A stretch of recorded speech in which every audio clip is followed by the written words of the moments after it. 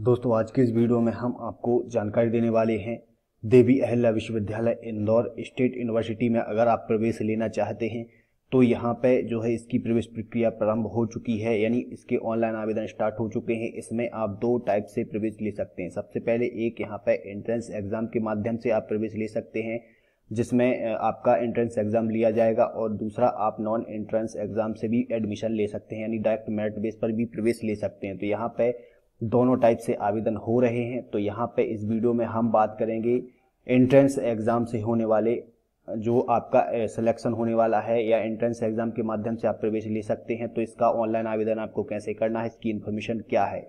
और जो non non entrance exam का जो प्रवेश है, उसके लिए हम आपको दूसरा वीडियो अलग से देंगे, जिसकी डिस्क्रिप्शन में हम आपको लिंक भी दे देंगे। वहाँ से आप देख सकते हैं।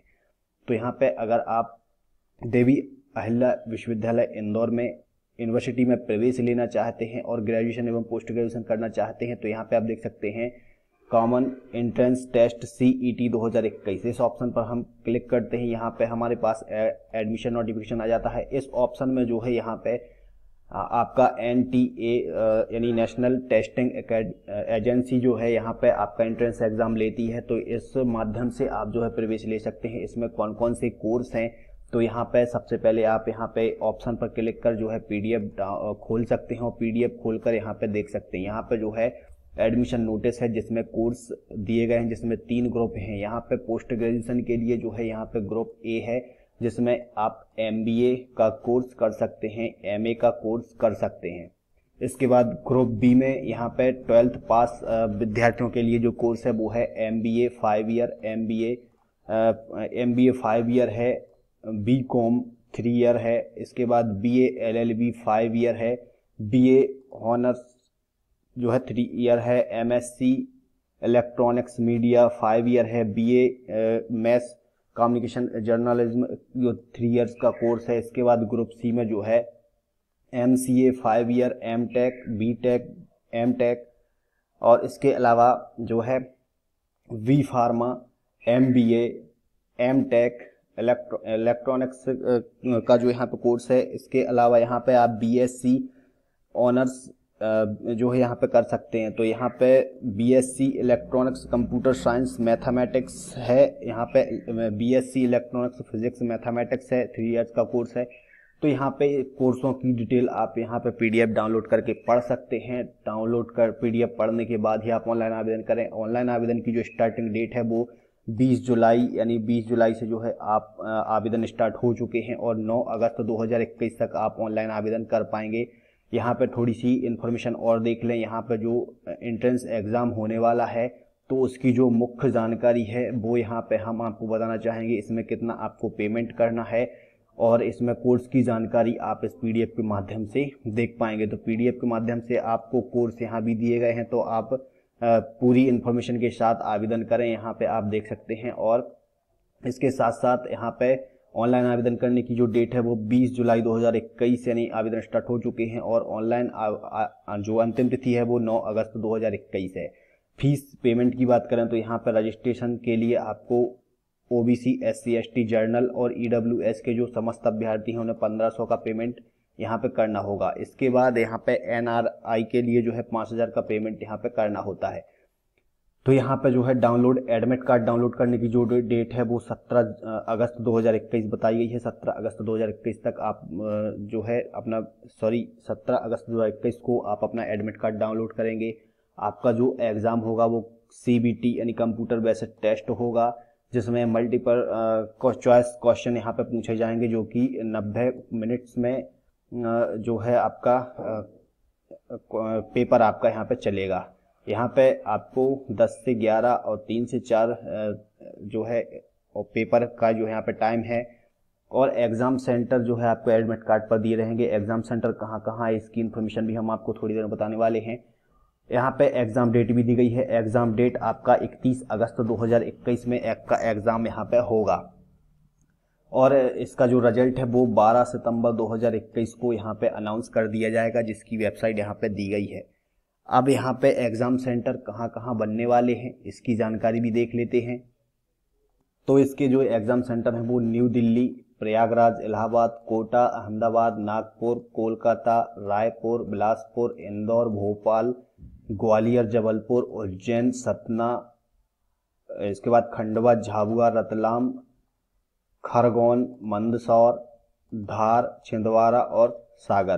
तो यहाँ पे 22 जो है एग्ज़ाम सेंटर यहाँ पे बनाए जाएँगे, जहाँ पे एंट्रेंस एग्ज़ाम आपका लिया जाएगा। अब आप ऑनलाइन आवेदन कैसे कर पाएँगे? तो ऑनलाइन आवेदन करने के लिए हम जो है वापस साइट पर चलते हैं। ये साइट की जो लिंक है आपको वीडियो के नीचे डिस्क्रिप्शन में मिल जाएगी, या डायरेक्ट ही आप यहाँ पे पहुँच सकते हैं। यहाँ पे पहुँचने के लिए आप जो है नीचे देख सकते हैं D A B U G और पी जी दो ऑप्शन आपको दिख जाते हैं। हम ग्रेजुएशन का जो रजिस्ट्रेशन करके आपको बताने वाले हैं तो यहाँ पे चार ऑप्शन चार ऑप्शन दिख जाती है। सबसे पहले रजिस्ट्रेशन एप्लीकेशन और यहाँ पर इमेज अपलोड और पेमेंट का ऑप्शन है। सबसे पहले हमें यहाँ पर रजिस्ट्रेशन के ऑप्शन पर क्लिक करना है। जैसे ही हम इस पर क्लिक कर लेते हैं तो यहाँ पे आप और इन्फॉर्मेशन भी पढ़ सकते हैं। यहाँ पे फ़ीस पेमेंट की जो है इन्फॉर्मेशन है, पंद्रह सौ रुपये पेमेंट आपको यहाँ पे करना होगा। जो आपको अपना फ़ोटो और सिग्नेचर अपलोड करना है वो जेपीजी में अपलोड करना है। फ़ोटो की जो साइज़ है वो 10 से 200 के बी होना चाहिए और सिग्नेचर की जो साइज़ है वो 4 से 30 के बी होना चाहिए।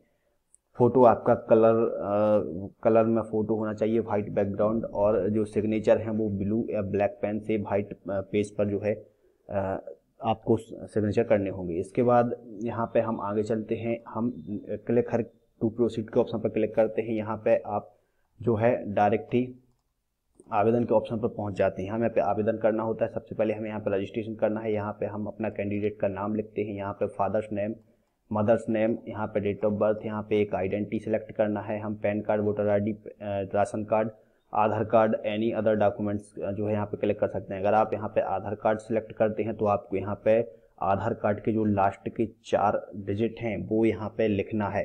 इसके बाद यहाँ पे आपको जेंडर सेलेक्ट करना है मेल फीमेल जो भी है, यहाँ पे ईमेल आईडी देना है, यहाँ पे ईमेल आईडी दोबारा लिखना है मोबाइल नंबर लिखना है मोबाइल नंबर आपको यहाँ पे दोबारा लिखना होगा। इसके बाद यहाँ पे हम नेशनलिटी सेलेक्ट करते हैं इंडियन यहाँ पे आपको कंट्री नेम सेलेक्ट करना होगा। कंट्री नेम में आपको जो है, यहाँ पे एड्रेस डिटेल सबसे पहले आपको यहाँ पे एड्रेस डिटेल लिखना होगा, आपका एड्रेस लिखना होगा, यहाँ पे आपको लोग जो है अपना तहसील यहाँ पे लिख सकते हैं। यहाँ पे आपको जो है विलेज या सिटी का पता लिखना है तो पूरा पता आप आधार कार्ड के हिसाब से यहाँ पे लिख सकते हैं। यहाँ पे हम जो है, अपना स्टेट सेलेक्ट करते हैं। यहाँ पे हम अपना डिस्ट्रिक्ट सेलेक्ट करते हैं। यहाँ पे हमें अपना पिन कोड डालना होता है।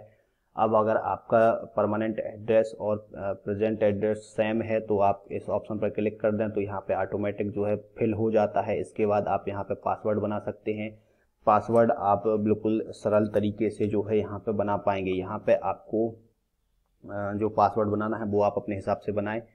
और इसके बाद यहाँ पे एक सिक्योरिटी पिन आपको लिखना होता है तो हम यहाँ पे वेबसाइट लिखते हैं। वेबसाइट में हम यहाँ पे जो है कुछ भी डाल देते हैं, जैसे कि हम एमपी ऑनलाइन डाल देते हैं या जो भी आप डालना चाहें वो डाल सकते हैं। इसके बाद यहाँ पे एक कैप्चा कोड लिखना है। यहाँ पे सभी जानकारी आपको चेक कर लेनी है। अगर सभी जानकारी सही है तो इन ऑप्शन पर आप जो है क्लिक कर सकते हैं।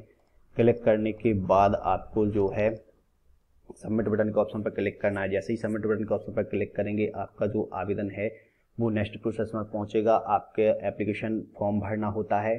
तो यहाँ पे हम जैसे ही कंफर्म करते हैं तो यहाँ पे आपको देख सकते हैं एप्लीकेशन नंबर मिल जाता है। यहाँ पे हम नीचे चलते हैं, पूरी इन्फॉर्मेशन है रजिस्ट्रेशन आपका कंप्लीट हो चुका है एप्लीकेशन इमेज अपलोड और पेमेंट करना है। तो यहाँ पे हमारा एप्लीकेशन नंबर हमें मिल गया है। यहाँ हमें जो है, सबसे पहले कंप्लीट एप्लीकेशन फॉर्म यहाँ पे करना होता है। तो कंप्लीट एप्लीकेशन फॉर्म के ऑप्शन पर हम क्लिक करते हैं तो यहाँ पे इस टाइप से पेज खुलता है। यहाँ पे हमें सेलेक्ट करना होता है कि आप मध्य प्रदेश के निवासी हैं तो यस करें, नहीं है तो नो करें। यहाँ पे कैटेगरी सेलेक्ट करना है तो हम यहाँ पे कैटेगरी सेलेक्ट कर लेते हैं। यूआर जर्नल ओबीसी तो ओबीसी सेलेक्ट करेंगे। सब कास्ट में यहाँ पे आपको, अगर आपके पास सब कास्ट है तो ठीक है नॉन कर दें। इसके बाद यहाँ पे जो है आप विकलांग हैं तो यस करें नहीं है तो नो कर सकते हैं। इसके बाद आपको यहाँ पे जो है रिसाइड यानी ग्रामीण क्षेत्र से हैं आप, शहरी क्षेत्र से हैं। तो हम ग्रामीण क्षेत्र से हैं तो रूरल सेलेक्ट करेंगे। इसके बाद यहाँ पे कोविड वैक्सीन नेशड यानी आपको वैक्सीन लग चुकी है तो यस करें नहीं है तो यहाँ पे हम नो कर देते हैं। तो यहाँ पे अगर वैक्सीन लग चुकी है तो यस करें यहाँ पे आपको एग्ज़ाम सेंटर सेलेक्ट करना होता है। सबसे पहले हम यहाँ पे मध्य प्रदेश सेलेक्ट करते हैं, फिर हमें यहाँ पे अपना एग्जामिनेशन सेंटर सेलेक्ट करते हैं। तो यहाँ पे जो है आप जो भी यहाँ पे सिलेक्ट करना चाहें, वो यहाँ पे सिलेक्ट कर पाएँगे। तो आपको जो है यहाँ पे चार एग्जामिनेशन सेंटर सेलेक्ट करने हैं।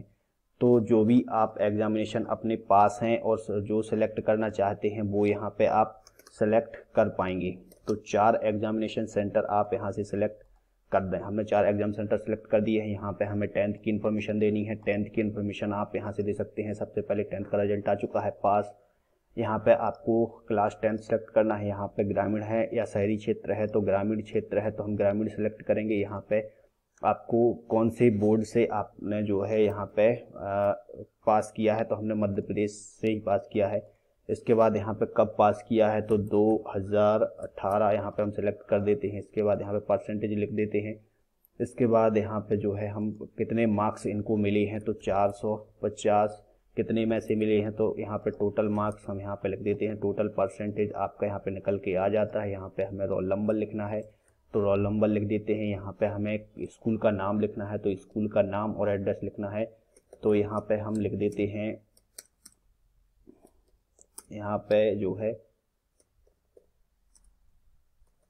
इस टाइप से जो है हम एड्रेस लिख देते हैं। यहाँ पे हमें ट्वेल्थ की इन्फॉर्मेशन देना है। ट्वेल्थ अगर आपका रिज़ल्ट रुका हुआ है तो यानी अभी रिज़ल्ट नहीं आया है तो अपेयरिंग लिखें रिज़ल्ट आ चुका है तो पास लिखें। हम रिज़ल्ट अपेयरिंग लिखेंगे, यहाँ पे हम जो है सब्जेक्ट सेलेक्ट कर देते हैं किस सब्जेक्ट से हमने बारहवीं की है पीसीबी यहाँ पे हमें जो है रूलर इसके बाद यहाँ पे बोर्ड सेलेक्ट करना है तो हम मध्य प्रदेश सेलेक्ट करते हैं। इसके बाद यहाँ पे आपको कुछ नहीं भरना है। इसके बाद यहाँ पे आपको स्कूल का नाम लिखना है। तो यही स्कूल का नाम उठा के जो है हम यहाँ पे कर देते हैं। इसके बाद यहाँ पे select group A B C जो भी है तो यहाँ पे आप ग्रेजुएशन करना चाहते हैं तो आपको सब्जेक्ट में जाकर देखना होगा बी ग्रुप में कौन से सब्जेक्ट हैं और सी ग्रुप में कौन से सब्जेक्ट हैं या फिर दोनों में आप कोई भी करना चाहते हैं। तो यहाँ पे जैसे कि हम बीएससी करना चाहते हैं तो हम ग्रुप सी सिलेक्ट करते हैं। जैसे ही सी सिलेक्ट करेंगे तो यहाँ पे आप देख सकते हैं, मैं जो है हम यहाँ पे बायोलॉजी से करना चाहते हैं। तो बायोलॉजी में यहाँ पे आप देख सकते हैं बीएससी के जो कोर्स हैं, वो यहाँ पे हैं। इसके बाद यहाँ पे हम आगे चलते हैं। यहाँ पे फादर्स क्वालिफिकेशन क्या है? यदि आपके पिताजी दसवीं से कम पढ़े हैं तो यहाँ पे tenth, up up to tenth लिखें। यहाँ पे आपके पिता क्या करते हैं? वो आपको यहाँ पे लिखना है। इसके बाद यहाँ पे आपके जो फादर हैं, उनकी इनकम कितनी है? इसके बाद यहाँ पे आपकी मदर कहाँ तक पढ़ी हुई हैं? आपकी माता क्या करती हैं? इसके बाद यहाँ पे उनकी इनकम कितनी है? इसके बाद यहाँ पे आपको जो है ये जानकारी चेक कर लेनी है, यहाँ पे इसे सिलेक्ट करना है और यहाँ पे हम कैप्चा कोड फिल करते हैं। आप देख सकते हैं, हम जो है यहाँ पे कैप्चा कोड डाल देते हैं। इसके बाद हम पूरा यहाँ पे सबमिट करते हैं। जैसे ही सबमिट करेंगे तो यहाँ पे हमें चेक करने के लिए ऑप्शन दिया जाता है। हम इसे चेक करते हैं और फिर से यहाँ पे कंफर्म डिटेल के ऑप्शन पर क्लिक करते हैं। यहाँ से यहाँ पे क्लिक करेंगे तो हमारे पास यहाँ पे फ़ोटो अपलोड करना है सिग्नेचर अपलोड करना है। दोनों अपलोड करने के बाद हम यहाँ पे क्लिक करते हैं और मेक पेमेंट के ऑप्शन पर क्लिक करेंगे। आपको यहाँ पे पेमेंट कर देना है। जैसे ही पेमेंट हो जाता है, आपका आवेदन सबमिट हो जाता है और इसकी जो इन्फॉर्मेशन है, वो पूरी यहाँ पे पीडीएफ में दी गई है। इस पीडीएफ को डाउनलोड करें। डेट आप नोट कर लें। उस डेट में आपको एडमिट कार्ड निकालना है एग्ज़ाम देना है। और अगर आप बिना एंट्रेंस एग्ज़ाम के प्रवेश लेना चाहते हैं तो उसका भी हम आपको दूसरा वीडियो दे चुके हैं। उस वीडियो में आप जो है जानकारी देख सकते हैं। धन्यवाद।